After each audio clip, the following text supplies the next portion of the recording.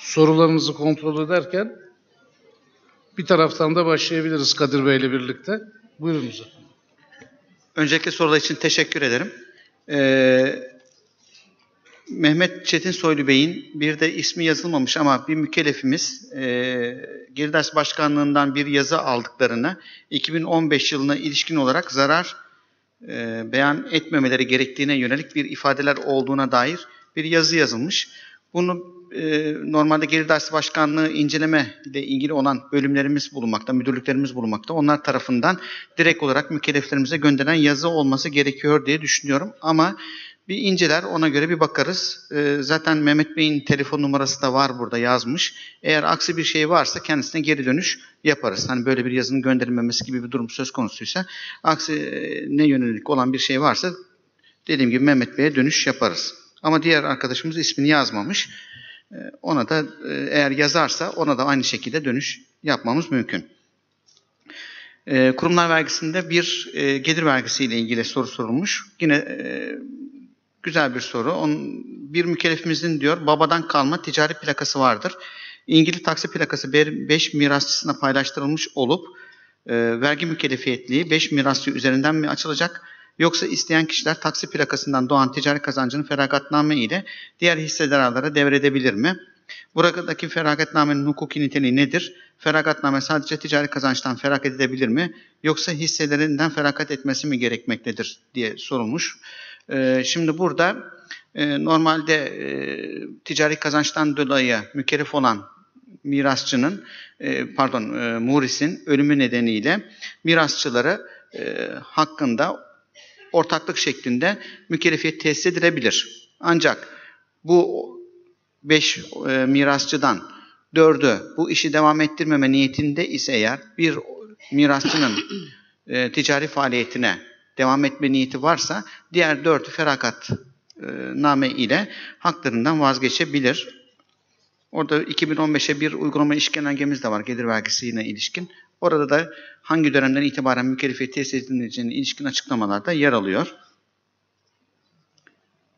İş ortaklığının kesinti yoluyla ödenen verginin kurumlar vergisinden mahsubundan sonra kalan kısmının iş ortaklığını oluşturan şirketlerin vergi borçlarına mahsubu mümkün müdür diye sorulmuş. Hüseyin Bey herhalde ismi e, soran arkadaşımızın. Burada 252 Serinoğlu Gelir Vergisi Genel Tebliğinde e, açıklamalarda bulunulmuştur bu tekifata ilişkin iadelerin yapılmasına ilişkin. Burada da öncelikle e, iş ortaklığının e, kurumlar vergisinden mahsubu gerçekleştirilir. Daha sonra iş ortaklığının muaccel hale gelmiş bir borcu var mı yok mu ona bakılır. Eğer muaccel hale gelmiş bir borcu yoksa da ortaklarına e, borçlarına mahsup talebinde bulunabilir. Başka üçüncü şahıslara yapılması nakit aşamada söz konusudur. E, bu şekilde bunun cevabı da. Amerikan menşeli bir fast food firmamız var. Franchise ödemeleri her ay gönderiyoruz. Gider olarak yazılabilir mi? Stopaja tabi mi? Ee, normalde burada çifte vergilendirme anlaşmasına da bakılması gerekiyor Amerika ile.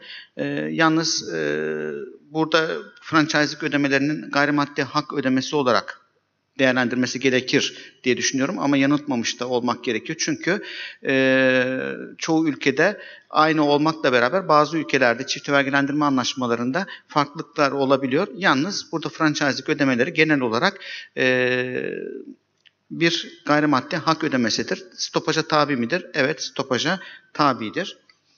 E, Mürsel Bilir Bey'in e, Mehmet denilmiş bu arkadaşlarımız çıkışta sorularını sorarlarsa bir de Hüseyin Karakaş Bey'in soruları tam açık değil. Onlara göre cevaplandırmasını yaparız. Ben de sorularımız bitti. tasfiye bildirmek zorunda idareye değil mi? Onu Evet. Bir sonu görmedim gerçi de. Ee, soruyu okuyayım ilk önce. Gelir Ders Başkanlığı'ndan 2012, 2013, 2014 yıllarında zarar beyan edildiğinden yazı geldi. Şirket gayri, gayri faal, burada da aynısı belirtilmiş. Ee, gayri faal aylık 700 lira masrafı var. Şirket tasfiye girecek. Bununla ilgili idareye bilgi vermek gerekir mi? Yani tasfiye girdiğinde tabii ki bilgi vermesi gerekiyor. Diğeri de zaten o mektupla ilgili bir yazıydı. Ona biz inceler bir bakarız mektuba. Oldu. Teşekkür ederim. Ben teşekkür ederim.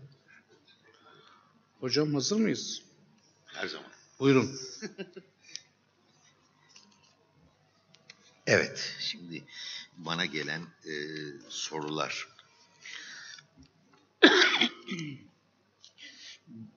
Bir soru, e, grup içi firmamızdan yansıtma faturası, grup içi firmamıza e, herhalde yük, yansıtma faturası kestik, örtülü sermaye olur mu?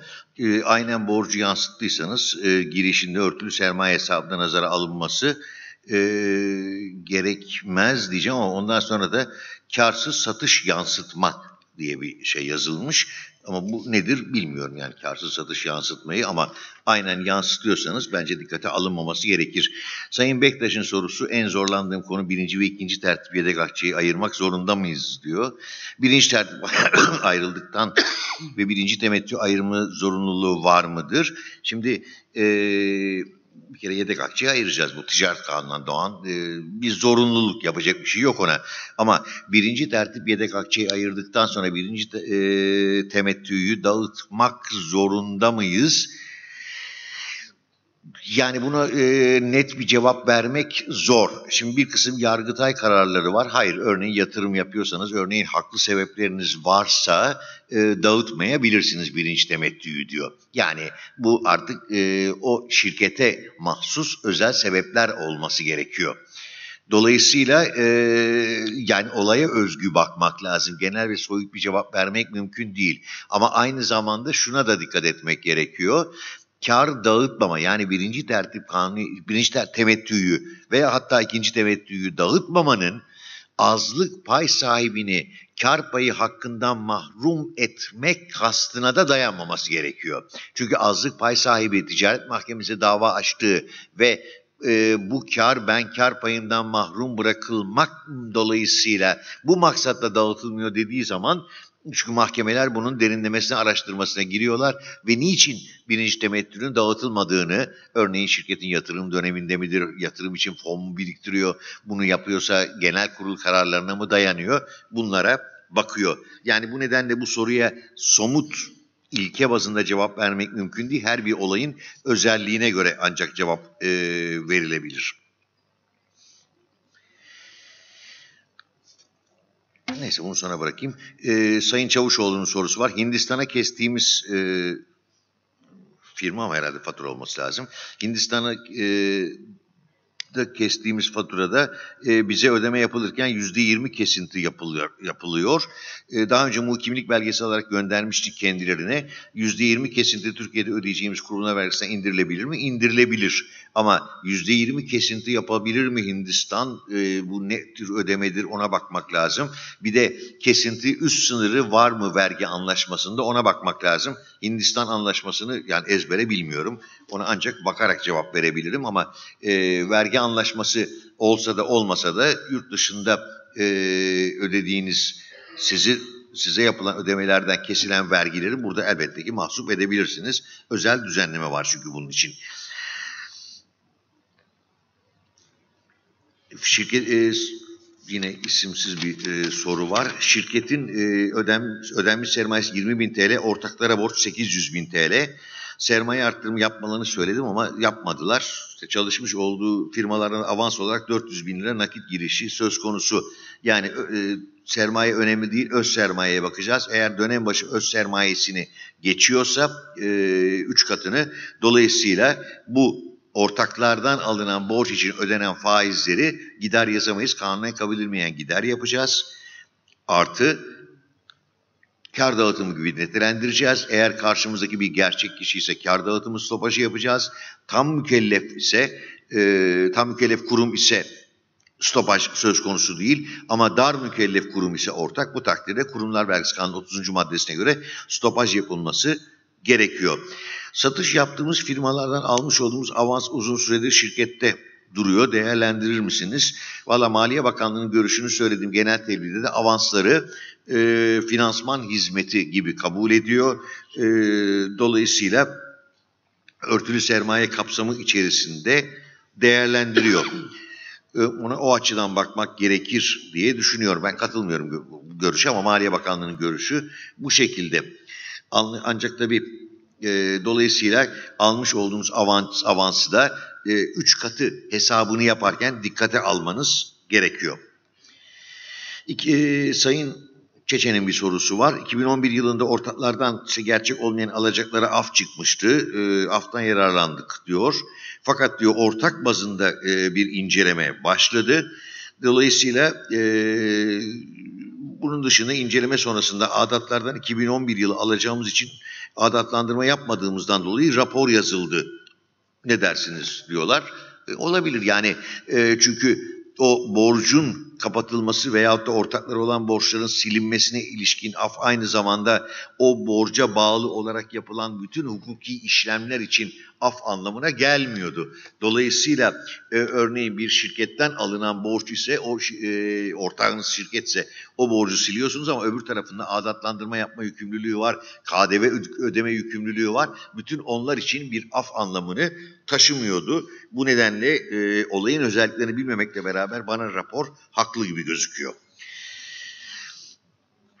E, ortaklık bilgileri e, güncel beyanname tarihine göre mi, 31.12.2015 tarihine göre mi, e, hangi duruma göre ortaklık bilgilerini beyannamede dolduracağız deniliyor.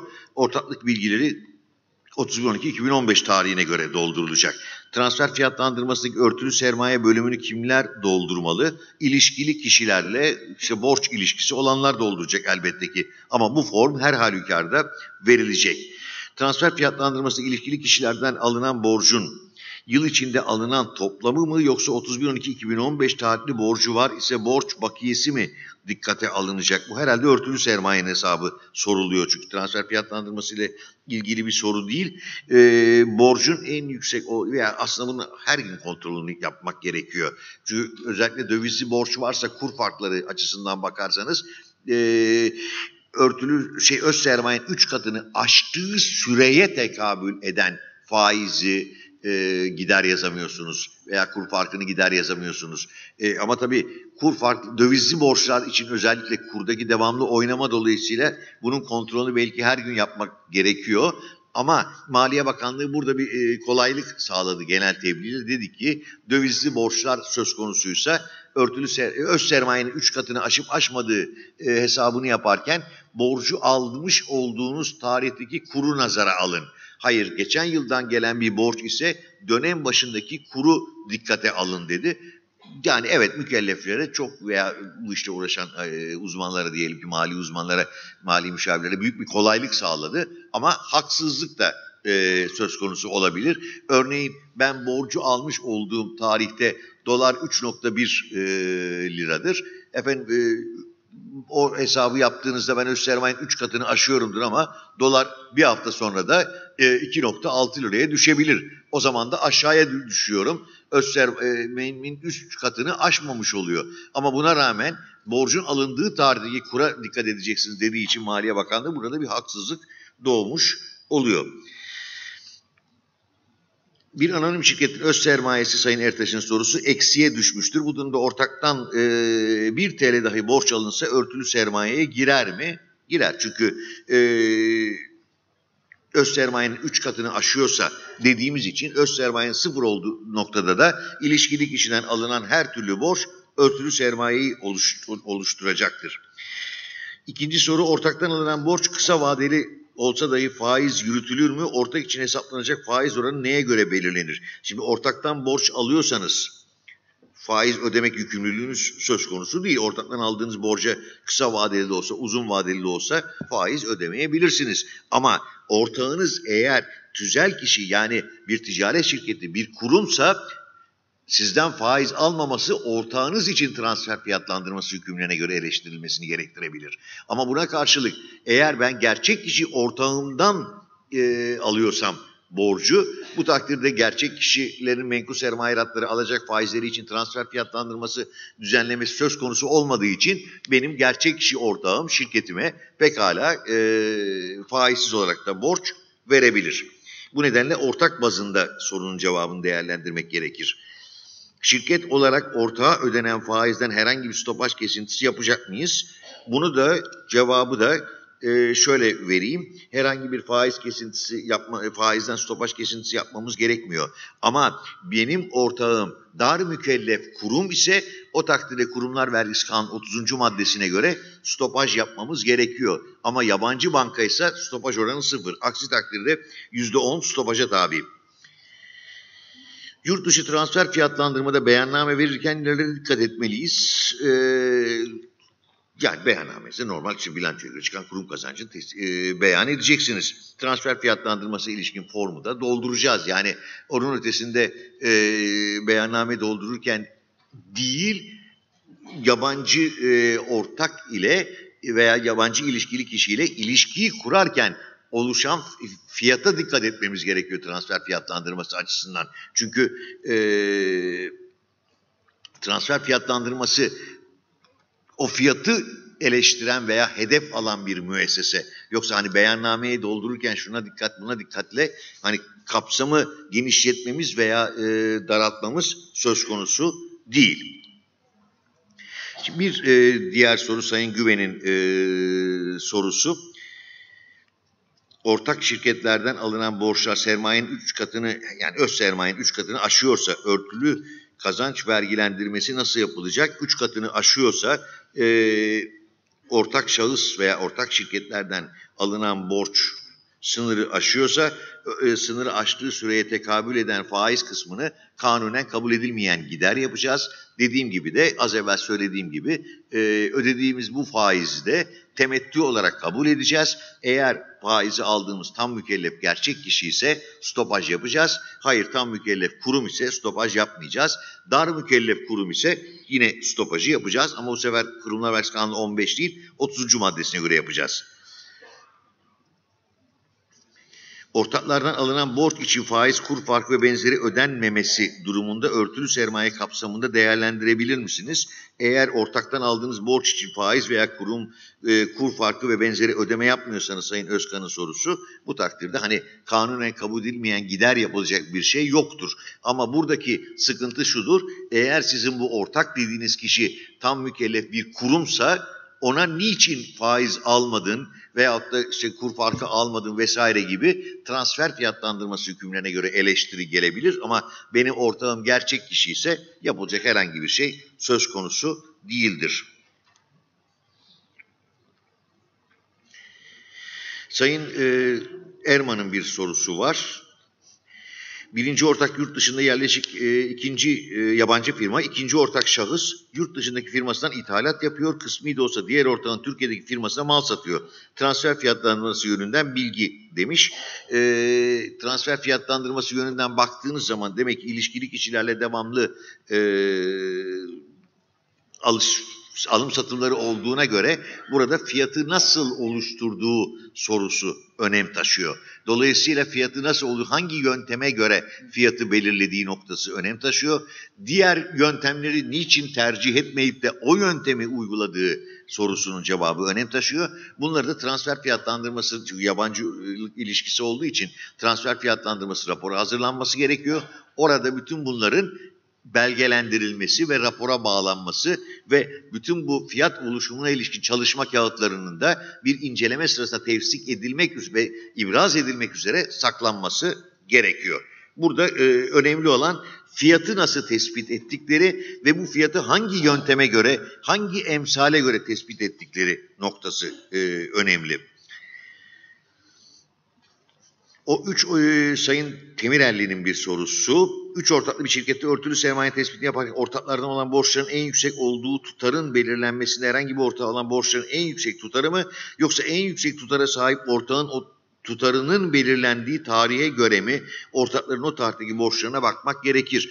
Ee, şimdi ben örtülü sermaye kapsamına girecek olan ilişkili kişilerden aldığım borçları topladığım zaman öz sermayenin 3 katını aşıp aşmadığıma bakıyorum. Yoksa ortak bazında bir hesaplama yapmıyorum. Ama eğer ben 3 katı kısmi aşıyorsam o zaman ortak bazında kime ödediğim faizin ne kadarı da kanunen kabul edilmeyen gider yapacağım diye bakacağım. Yoksa e, örtülü sermaye faizi bende oluşuyor mu? Oluşmuyor mu? Örtülü sermaye faizi var mı yok mu diye ortak bazında bir hesaplama yapmam söz konusu değil. O ilişkili kişilere olan toplam borcumu dikkate alacağım.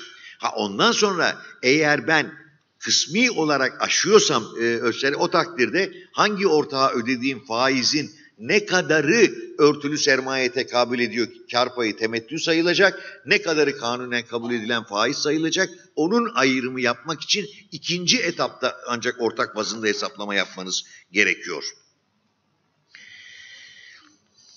Sayın Yaşar'ın sorusu, şirketlerimizden birinin ortağı Çin'de benzer faaliyette bulunmak üzere bir şirket kurdu. Ee, ve Çin yasalarına göre faaliyete geçti. Çin'de kurulan bu şirketin buradaki şirketimize vergisel açıdan ve transfer fiyatlarımız yönünden etkilemesi nasıl olacak?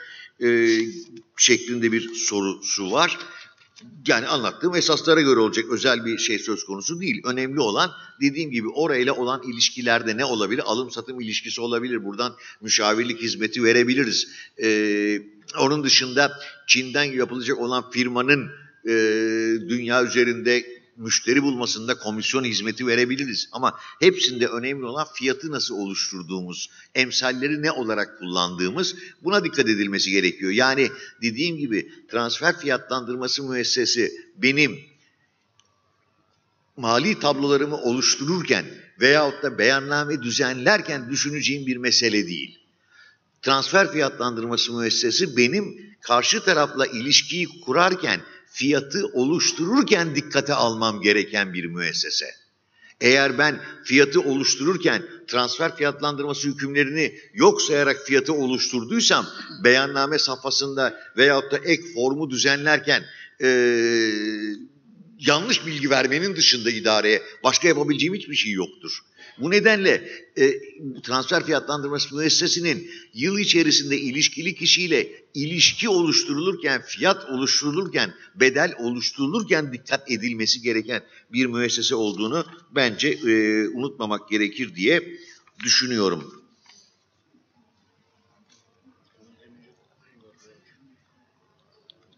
Ee, burada bir soru var galiba hani gelir tablosuna göre bilanço ile ilgili ben onu size pas edeyim ama sorunun benimle ilgili kısmını cevaplandırayım. Bu firmanın 2015 yılı kurumlar yani firmanın özelliklerini anlatmış e, arkadaşımın soru sormuş Sayın Düz'ün sorusu. E, örtülü sermaye transfer fiyatlandırması formunu da düzenlemem gerekir mi diyor. E, o form her halükarda veriliyor tabii. Ama o formu ne zaman dolduruyorum? Eğer ilişkili kişiyle bir borçlanma ilişkisi ve örtülü sermaye açısından veya transfer fiyatlandırmasından borçlanma veya sair hukuki ilişkilerim var ise benim ilişkili kişilerle hiçbir ilişkim söz konusu olmadıysa yıl içerisinde yani ne borç para aldım verdim ne mal sattım ne müşavirlik yaptım hiçbir şey yapmadıysam o takdirde o formun o kısımlarına bir şey yazmak bence gerekmiyor. Bunu cevaplandırmıştım. Bu da Çin'de kurulan şirket. Evet, teşekkür ederim. Biz teşekkür ederiz hocam. Erdal Bey hazır mıyız? Evet. Bende de epeyce soru var. Hiç soru yok diyecektim ama. Ee, Ahmet Akgüz arkadaşımız bu enflasyon düzeltme farklarıyla, öz sermaye düzeltme farklarıyla ilgili soruyu sormuş. Şirket tasfiyeye girmiş, öz kaynaklar eksiye düşmüş. 170 bin lira e, sermaye düzeltmesi olumlu farkı var. E, burada vergileme nasıl olur diye. O ilgili hükümde sermaye düzeltmesi olumlu farkları e, başka bir hesaba nakledilirse, işletmeden çekilirse e, dönem kazancıyla ilişkilendirilmeksizin vergiye tabi tutulur diyor. Oradan hani benim e, düşüncem burada 170 binin vergiye tabi tutulması gerekiyor kurumlar vergisi anlamında. E, stopaj da olacak mı diyor. Şimdi burada bir dağıtım olmadığı için bence stopaj olmamalı diye düşünüyorum. Yine arkadaşımız devam etmiş. Bunları önce sermaye eklemiş olsaydık yine vergileme olacak mıydı diye. Şimdi bizim kanunumuzda sermaye ekleme e, halinde vergileme olmayacağı söylüyor. Sonra sermaye azaltımı ile ilgili herhangi bir düzenleme yok bizim kanunlarımızda.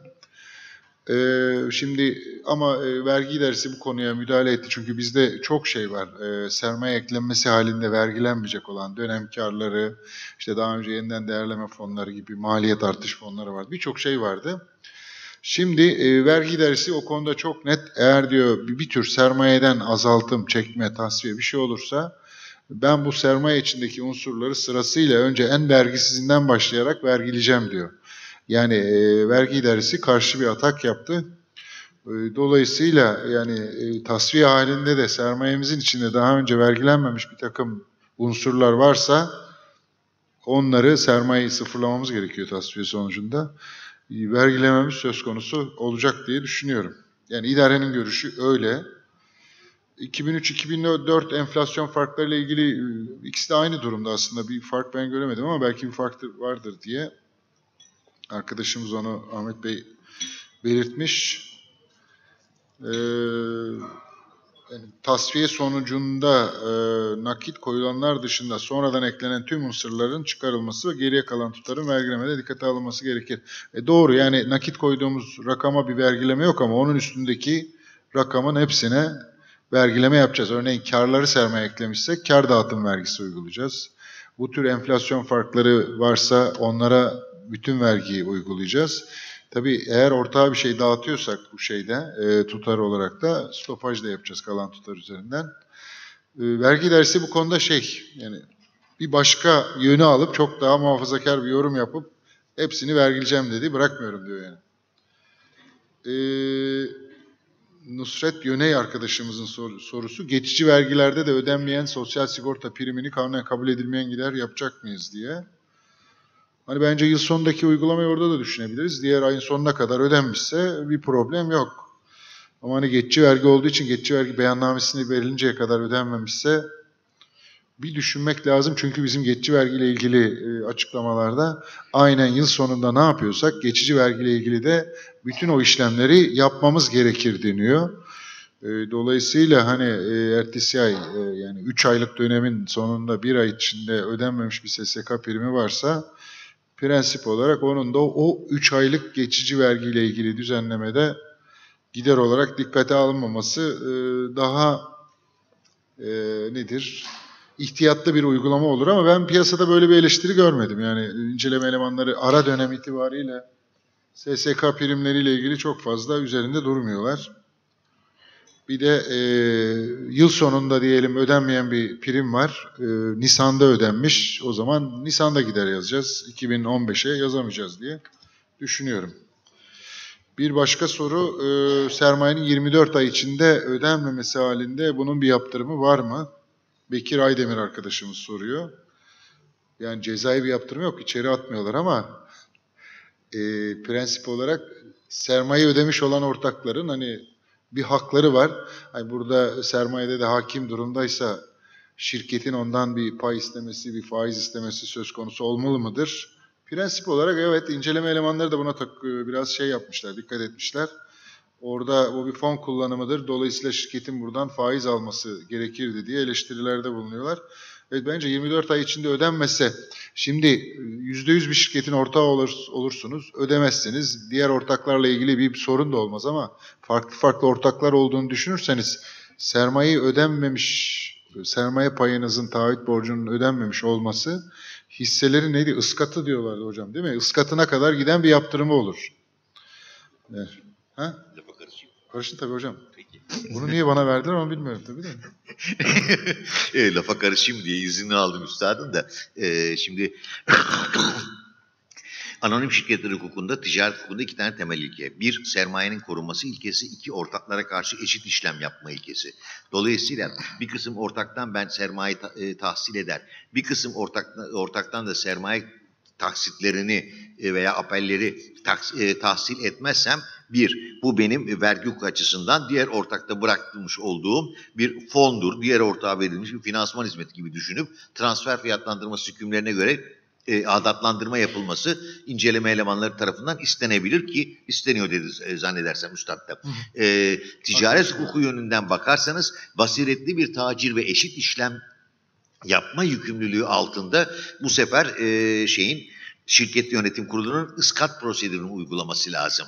Ha eğer mesela ben şirkette sermaye taahhüt borcumu ödedim ama diğer şirket ödemiyor. Yönetim kurulu hiçbir şey yapmıyorsa o zaman ödemiş olan ortakların da yönetim kurulu aleyhine sorumluluk ve tazminat davası açma hakları var.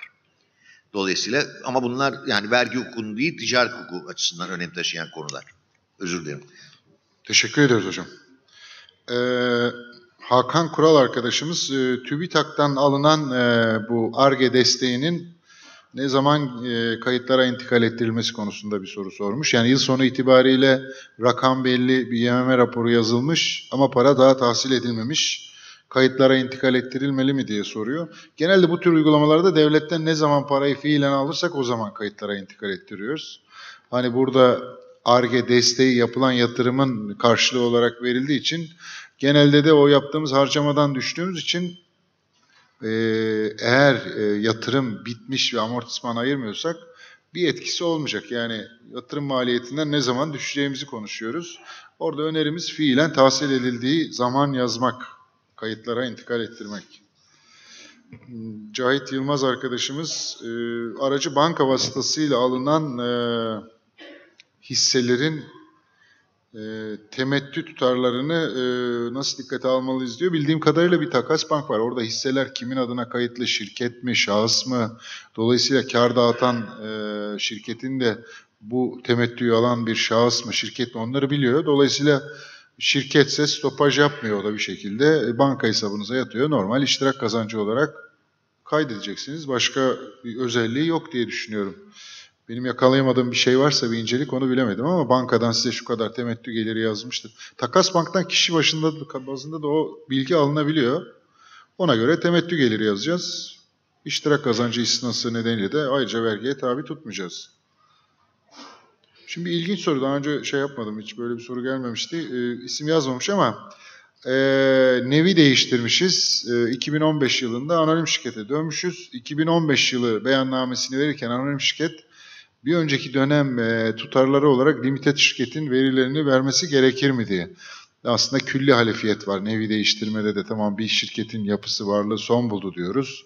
Ee, öbür şirketi anonim şirket olarak varlığını devam ettirdi diyoruz. Bütün vergi borçlarından her şeylerinden aynen sorumludur. Her şey defter değeriyle aktarılıyor diyoruz. Ama e, bence ortada yeni bir tüzel kişilik var. Tamam vergi kanunları ona bir istisna veriyor. Nevi değiştirme de vergisiz yapılabilir diyor belli şartlarla. Dolayısıyla ortada yeni bir anonim şirket var. O anonim şirketin önceki dönem kayıtları da yok diye düşünüyorum. Yani başlangıç e, kayıtlarına diyelim o limited şirketin kapanış bilançosu anonim şirketin açılış bilançosu oluyor bir anlamda. Açılış bilançosu ile ilgili rakamları mı koymak ya da limited şirketin geçen yılın kapanış rakamlarını mı koymak tartışılabilir ama bence bunlar mutlak konulacağına dair bir düzenleme yok. Bir şey koymasak daha iyi olur diye düşünüyorum. Ee, bir başka arkadaşımız gene isim belirtmemiş. Adi ortaklıklarda yapılan e, sermaye arttırımı durumunda bu sermayedeki nakdi sermaye artışındaki indirimi bir şekilde uygulayabilir miyiz diyor ama bence uygulayamayız diye düşünüyorum. Yani adi ortaklıkların tüzel kişiliği yok. Oraya bir sermaye tahsis ediyorsunuz ya da kullanım için, işletme sermayesi için tahsis ediyorsunuz. Dolayısıyla bizim sermaye artışında yani faiz yüzde 50 faiz indirimi o anonim şirkete yapılan sermaye artışında geçerli. Dolayısıyla anonim şirketin fonlarından e, adi ortaklıktaki işe e, tahsis ettiği fonun, yani sermaye değil o, adi ortaklığın bizde sermayesi olmuyor. E, fon açısından böyle bir uygulama yapmak mümkün değil. E, bir başka arkadaşımız e, Serap Aydın. E, 2015 yılında yeni kurulan bir şirkette nakdi sermaye indiriminden yararlanabilir mi faiz olarak? Bence yararlanabilir. Öyle bir şey yok. Yani kanunun yürürlük süresi e, Temmuz 2015. O tarihten sonra yapılan sermaye artışlarına, sermaye e, ne bileyim sermaye konulması işlemlerini kapsıyor diye düşünüyorum. E, kısım kısım ödenmiş paralar. E, o anlamda da düzenlemelerde para ne zaman şirkete intikal etmişse o tarihten itibaren faiz hesabını yapmaya başlayacağız. Bir başka sorun Ali Şahin arkadaşımız. Yurt dışında kurulan şirketin %100 hissedarıyız. Bu şirkete olan sermaye ödemelerinde oluşan kur farkı giderlerini indirim konusu yapabilir miyiz diye soruyor. Hani o şirkete diyelim ki 100 bin dolar sermaye koyacaktık. 25 bin dolar koyduk. 25 bin dolar daha 50 bin doları sonra koyduk. Bu arada kur farkı zararı oluştu bir şekilde. Yani onu gider yazabilir miyiz diyor. Bence e, yazamamamız lazım. Yani bizde hisseler, hisse senetleri alış bedeliyle değerlenir diyor. Ya ortada henüz bir gider de oluşmamış diye düşünüyorum. Yani onu alış bedeli o.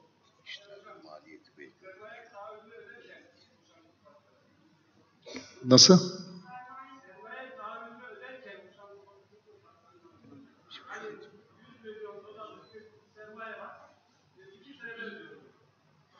Bence gider yazmamamız lazım. İşte maliyetin eklenmesi gerekiyor. Yani şimdi şöyle bir şey var. Biz yani taahhütleri, kefaletleri çok fazla kayıtlarda tutup da onlarla ilgili bir gider gelir oluşturmuyoruz vergi uygulaması açısından. Yani şöyle diyelim, siz 100 milyon dolar e, sermaye taahhüt ettiyseniz o zaman 100 milyon dolarlık bir tür taahhütlerinizden alacağınız da var. İkisini birlikte değerlemeniz lazım. Eğer tam doğru muhasebe yapıyorsak. Yani bir tür nazım hesapta izleyeceğiz onu. Çünkü daha ödemedik. Bir taahhüdümüz var. Ama o taahhüdümüzden kaynaklanan da bir alacağımız var. İkisini birlikte değerledik. Sonuçta kar zarar etkisi olmamalı diye düşünüyorum. Muhasebe tekniği açısından da öyle olmalı diye düşünüyorum. Yani vergi açısından çok e, anlamlı gelmiyor. Yurt dışında bir şirkete 100 milyon dolar sermaye taahhüt ettik. Bunun kur farkını gider yazmak. Yani bizim vergi uygulamamız anlamında bir yere oturtamıyorum. Onun dışında hani muhasebe tekniği olarak da gider yazılması doğru değil diye düşünüyorum. Tabii tartışılır. Ee, bir başka arkadaşımız isim belirtmemiş. Grup şirketlerinden kullandıkları kredilerin faizi hangi şirket gider olarak yazabilir? Kullanan mı, kullandıran mı, faturalaşma nasıl olacak? Bu herhalde bankalardan alınıp e, dağıtılan kredileri kastediyor. Veya e, grup içindeki bir takım fon kullandırmalarında nasıl olacak? Tam soruyu anladığımı söyleyemem. E, KDV konusu ne olacak diyor. E, şimdi uygulamada şöyle var. Birebir bir bankadan kredi alındı bir grup şirketi. Bir diğer grup şirketine aynen aktardı. 1 milyon aldı, 1 milyon verdi. Bütün faiz ödemelerinde, hesaplarda aynen aktarıyorsa bir yerleşmiş uygulamamız var. Aslında bir tür biz köprüyüz. Burada bizim şeyimiz yok. Ee, Bumin Hoca'nın dediği gibi şimdi inceleme elemanları bu konuda peki aynen aktardıysanız buna ilişkin bir hizmet bedeli alın, bir şey alın diyor. Artık vergi idaresi de bu aynen kredi aktarımlarında e, bu durumu kabul etme eğiliminde diye anlıyorum. Öyle biliyorum. Çünkü bununla ilgili çok fazla eleştiri yok son zamanlarda. Ama bunun dışında bir unsur varsa yani mutlaka fatura olacak, KDV olacak. Çünkü bizde başka tür bir şirketin diğer şirketten bir bedel istemesi kendine mal edecek tarzda mümkün değil. Yani 100 lira fon kullandırdım bunun faizi e, 2 liradır, 5 liradır her neyse onun faturasını kesip KDV'sini hesaplayıp KDV'sini alacak. Eskiden idarenin bu konuyla ilgili KDV mi BSM mi bir konusunda tartışması vardı. Son zamanlarda kanun değişiklikleriyle BSM mükellefi olması için düzenli olarak borç para verme işiyle uğraşması gerekiyor. Dolayısıyla normal şirketlerin birbirine borç alışverişlerinde bir faiz yürütülüyorsa ki yürütülmeli, e, onda da fatura kesilmeli ve KDV hesaplanmalı diye düşünüyorum. Tabi burada çok konuşulmadı. Şirketlerin birbirine borç verilmesi de son zamanlarda bizim çok tartıştığımız bir şey var. Bu finansal kuruluşlarla ilgili bir düzenleme var. O düzenleme çerçevesinde bir şirketin e, borç verebilmesi için bu konuda lisans almış olması gerekiyor. O da ne? Banka, işte tüketici finansmanı kuruluşu, işte faktörü şirketi falan filan. Teorik olarak baktığımızda normal bir ticari şirketin, ticaret şirketinin grup şirketlerine e, borç vermesi e, parasal anlamda bunu düzenli olarak yapması izin verilen bir şey değil. E, ona da dikkat edin. E, yani çok fazla oluyorsa, bu düzenli oluyorsa irdelenmesinde, değerlendirilmesinde fayda var. Çünkü kanuni düzenleme olarak bu işlemi düzenli yapabilmek için bir lisansa sahip olmak lazım. Eskiden kanun hükmünde kararname vardı. İşte 3 yıl önce mi değişti buna? Orada şey vardı. Grup şirketlerinin kendi işlerinde aldıkları e, borçlar, borçlanmalar bu lisanslama zorunluluğunun kapsamı dışında tutulmuştu. Yeni düzenlemede öyle bir şey yok. Yani e, düzenli olarak borç para verme işi için esasında prensip olarak bir lisans lazım. E, bilançomuzda 10 yıldır kayıtlı bulunan e, gayrimenkul kira ya da kiraya verilmiş. Bu gay- gayrimenkulün satışından e, %75'lik isnadan faydalanabilir miyiz diye soruyor Halil İbrahim Akcan. Burada idare hani kiralama suretiyle işletiyorsunuz bunu, e, isnadan yararlanamazsınız diye idarenin yaklaşımları var. Dikkatli olmakta fayda var. Yani bir şöyle düşünüyoruz, bir arsayı almışız ya da bir şeyi kullanmamışız veya 20 yıl kullanmışız, çıkmışız. Ne yapacağımıza karar vermedik. 10 yıl kirada durdu ya da 2 yıl kirada durdu. E artık kiralama suretiyle bunu işlettiğiniz için, kanunda da o sınırlama olduğu için gayrimenkul ticareti veya bunun işletilmesi e, faaliyet konuları arasında varsa bu isnadan faydalanamazsınız diye oraya giriyor diye e, ben muktezalar, eleştiriler gördüm. Dolayısıyla çok rahat bu istisnadan faydalanır diyemiyorum. Ee, şimdi başka selam arkadaşım, selam Samast. Ee, soruyu bir daha okumak ihtiyacı hissediyorum. Esas faaliyeti tekstil ürünleri imalatı. 5 yıl önce bir bina satın alıyor bu şirket ama bina hiç kullanılmıyor ve kiraya veriliyor. Bu binanın satışında istisna uygulanabilir mi? Gene aynı konuya geldik. Kira alınmışsa, kiraya verilmişse kiralama suretiyle işlettiniz bu gayrimenkulü. Dolayısıyla istisnadan faydalanamazsınız diye idarenin e, yorumları var. E, tartışmalı bir durum var. Dediğim gibi istisnadan faydalanır diye kolaylıkla söyleyemiyorum. Yani böyle örneklerle karşılaştık. E, serbest bölgelerde kar dağıtımı ülke içine alınması stopaja tabi midir diye isim yok burada. Serbest bölgelerdeki şirketlerin artık normal şirketlerden bir farkı kalmadı. Kar dağıtımı halinde normal bir şirket ne e, vergileme yapıyorsa serbest bölgedeki şirketin de e, aynı uygulamayı yapması lazım. Serbest bölgelerde şimdi oradaki kazançların istisna olması ile ilgili bazı şartlar, kurallar var. Kendi şirketin kazancı artık o e, istisnadan faydalanıyor veya faydalanmıyor. Kar dağıtırken bir özel bir istisna yok diye düşünüyorum. E, yurt içindeki bir firma e, yurt dışındaki fuarlarda danışmanlık hizmeti veriyor, vermesi durumunda. Kurumlar vergisi muafiyeti ve KDV durumu bu işin yurt dışında yapıldığının ispatı nedir? Ne şekilde maliyeye ispat edilir? Bu konu şey tabii yani KDV açısından bakarsak e, KDV'de e, Türkiye'de vergiye tabi olmasıyla ilgili şartlar şey yani hizmet ihracatından faydalanması için diyor ki yurt dışındaki bir müşteri için yapılmalıdır ve hizmetten yurt dışında faydalanılmalıdır. Faydalanma nedir? En geniş şekilde tanımlanıyor. Yani herhangi bir şekilde Türkiye'de biri bundan bir fayda görüyorsa Türkiye'de faydalanılmıştır sonucuna varıyoruz böyle.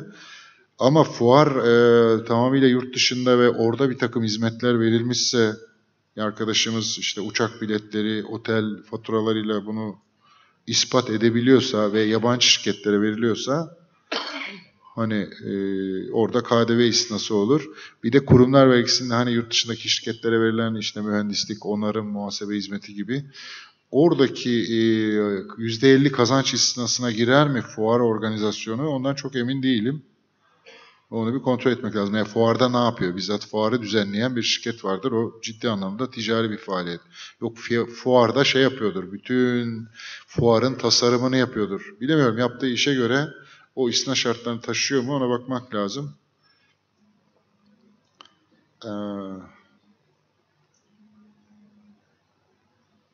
şimdi bir başka arkadaşımız gene gayrimenkul satış e, kazancı isnası ile ilgili bir örnek vermiş e, Emine e, Beyhatun. E, yani 3 milyon TL kar ediyoruz. E, bunun %75'ini istisna olarak uyguluyoruz. Fon hesabına koyuyoruz. Sonra gittik yine bir gayrimenkul aldık. Bunda bir problem olur mu diyor. E, şimdi orada hani bir gayrimenkulümüz vardı. Sattık bunu. Gittik ihtiyacımıza uygun daha yeni, daha düzgün, daha işlevsel bir gayrimenkul aldıysak bu istisna ile ilgili niye problem olsun ama e, uygulamada hani e, gayri nakdi, nakdi bir unsur çıktı. Yine gayri nakdi bir e, kalem girdi bilançoya. Dolayısıyla e, kanundaki e, işte gayri nakdi unsurların paraya çevrilmesiyle ilgili bir amaç vardır. Bu amaç yerine gelmemiştir. Dolayısıyla istisna olmaz denilebilir mi? Eğer işin ihtiyacı anlamında hakikaten yeni gayrimenkulün bir gerekliliği ortaya konuyorsa olabilir ama mesela hisse senetleriyle ilgili bayağı ciddi eleştiriler yapılmıştı. Yani bir hisse senedini satıyorsunuz sonra başka bir hisse senedi alıyorsunuz. Burada istisna olmaz diye ama birebir benim dediğim örnekte yani eski gayrimenkulü sattığınız yerine daha işlevsel, işinize e, daha uygun bir gayrimenkul aldınız. O yararlanamaz diye bir eleştiri görmedim ben. Yine dikkatli olmak kaydı. Ha? Şimdi ona da gidiyorum. Yenileme fonu e, şimdi istisna ile yenileme fonu ikisi beraber uymuyor. uymuyor. Zaten muhasebe tekniği olarak da uymuyor. Dolayısıyla ikisinden birini yapmak durumunda. Ondan sonra vergi ödeyecek. Şimdi yenileme fonuyla da ilgili e, öyle e, farklı anlayışlar var ki. Hiç istisnadan yararlanmayıp doğrudan Tabii, tabii. Şimdi yenileme fonu ile ilgili e, kanundaki ifadeden şey diyoruz. 3 yıl içinde itfa edilmeyen yenileme fonu amortis yeni alınan sabit kıymetlerin amortismanlarıyla itfa edilemeyen veya bir şey alınmamışsa geliri aktarılır diyor da sanki bununla ilgili bir tartışma e, çıkıyor. Yani yeni sabit kıymetin amortismanını e, buradan 3 yıl sınırlaması olmadan mahsup edebilirsiniz. Yani sattınız, yenileme fonuna koydunuz, 3 yıl içinde yeni e, kıymeti aldınız bu işle ilgili olarak. Bu gayrimenkul olur, makine teçhizat olur. Onun artık amortismanı bitene kadar buradan mahsup edebilmeliyiz. Eskiden biz çok şey anlardık. Kanundaki ifadeden 3 yıl, 3 yıl sonra gelire koyuyorduk. O 3 yılı da idare şey yapıyordu. Aslında efektif olarak bir yıla indiriyordu. İşlemin yapıldığını bir e, saydığı için e, bir sonraki yıl ancak tutuyorduk. Üçüncü yılda da koyduğu için ama şimdi ha? Sattığı yıl alıyorsa artık yenileme fonunu ayıracaksın. Böyle idareden görüşler de var. Aynı yıl işlemde. Sattığı ertesi yıl almıyor. Aynı yıl içinde alıyorsa Ama yani idare e, hocam şey diyor aynı yıl içinde hem sattık hem aldık. Niye satıyoruz? Niye alıyoruz? İdare bu tür eleştirilerde de bulunuyor da demin şey dedim yani.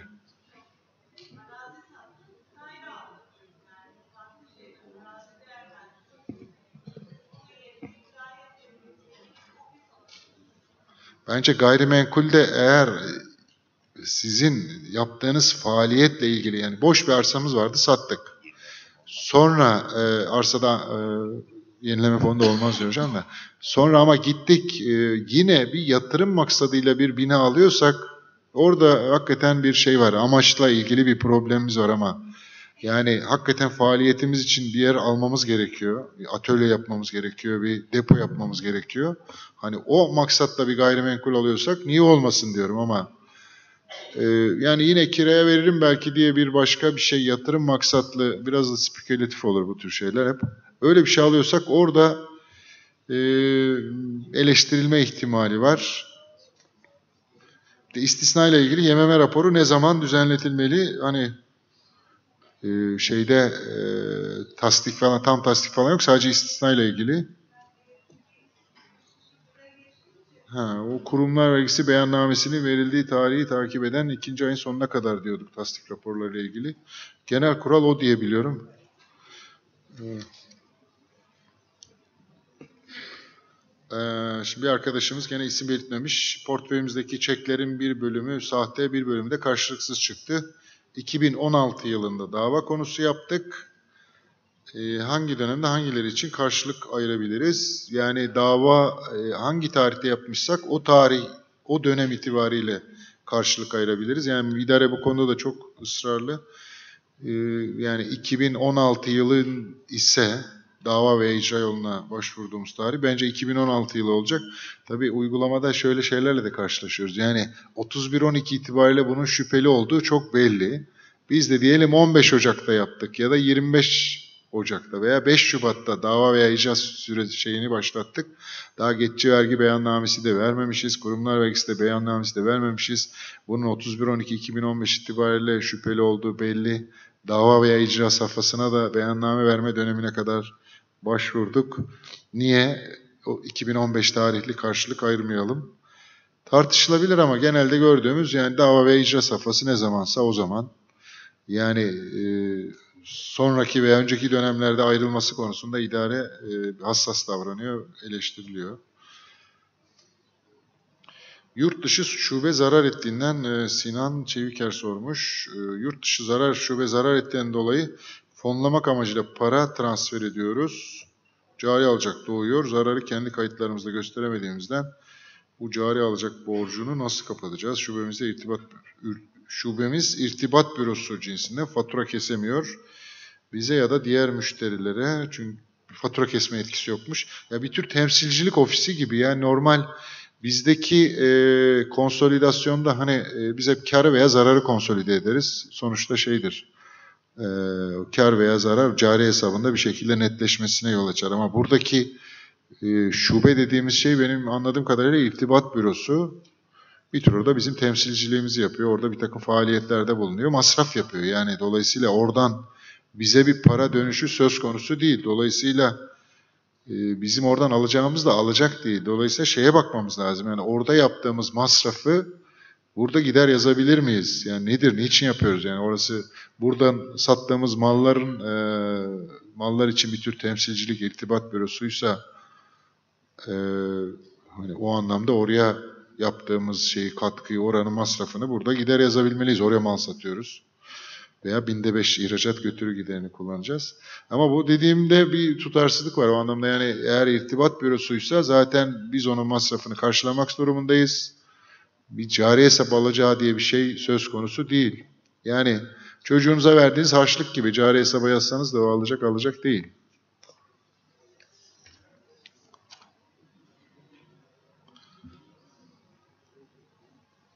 Şimdi Serap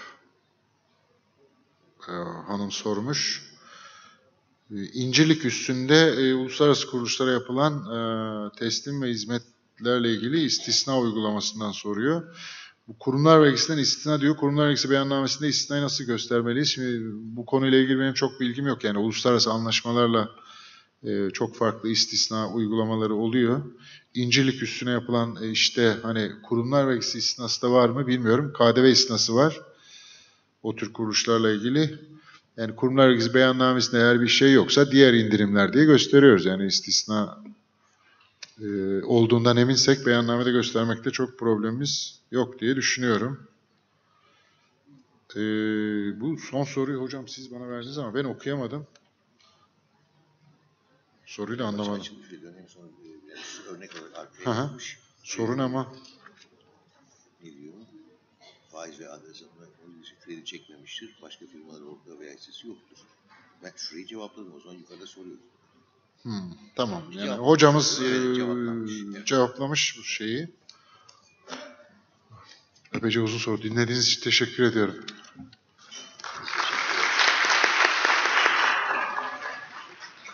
Değerli arkadaşlarım, mesleğimize gösterdiğiniz özen ve titizlik için hepinize ayrı ayrı teşekkür ediyorum. Sağ olunuz, iyi akşamlar diliyorum. Değerli meslektaşlarım, bir seminerin daha sonuna geldik. Oturum başkanımız ve konuşmacılara ve siz değerli katılımcılara sonsuz teşekkürlerimizi sunuyoruz. Plaket törenimiz var. 5 dakikanızı da e, rica ediyorum. Erdal Çalıkoğlu'na plaketini vermek üzere İstanbul Vergi Dairesi Başkanlığı Gelir Grup Müdürü Sayın Rıza Bilgici davet ediyorum.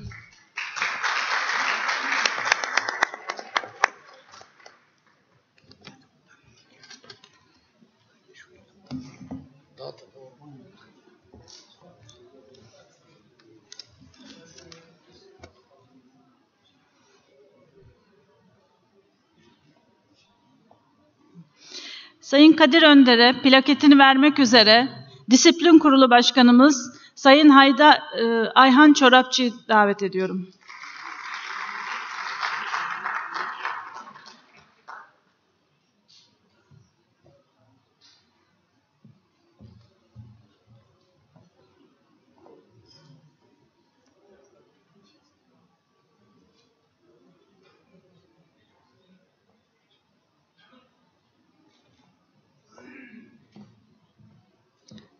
Sayın Doktor Büyümün Doğru Söze plaketini vermek üzere oda saymanımız Sayın İhsan Yalçın'ı davet ediyorum.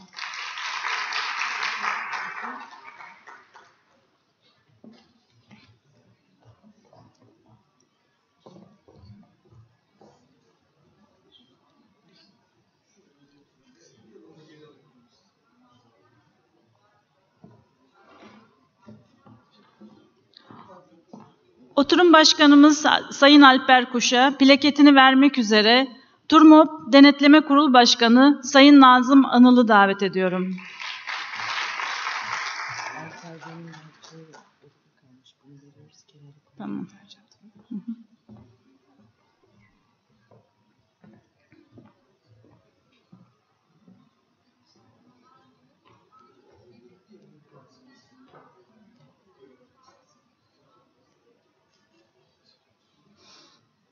Değerli meslektaşlarım, başka bir seminerde görüşmek dileğiyle sağlıkla, mutlulukla, huzurla, sevgiyle kalın. Teşekkür ederiz.